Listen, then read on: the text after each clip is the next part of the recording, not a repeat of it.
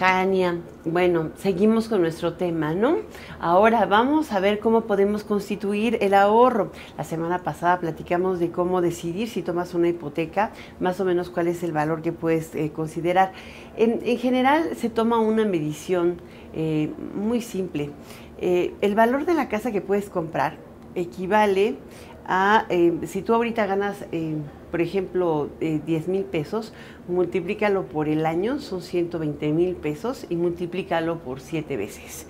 Entonces estás haciendo, tu capacidad, por ejemplo, para la compra de una casa tiene que rondar los 800 mil pesos aproximadamente, y eso lo puedes pagar en el curso de 20 años. Ahora, ¿cómo ahorrar el enganche y para los gastos de escrituración, avalúo, etcétera, de los que hablamos?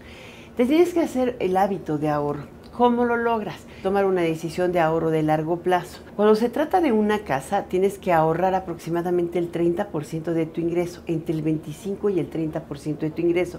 2.500 pesos. Prácticamente es el valor de una renta, ¿no? Es como el 1% el valor de tu casa. Aproximadamente es lo que vas a destinar en el futuro si es que tomas el crédito hipotecario a pagar. De esta manera te haces el hábito de ahorro. ¿Cómo hacerlo? En instrumentos donde no los puedas retirar fácilmente. Debería escoger alguna alternativa, por ejemplo, como sociedades de inversión, eh, como eh, certificados bancarios, como eh, fondos bancarios. Segunda, paga por arriba de inflación el dinero, pero ¿cuál es la condición?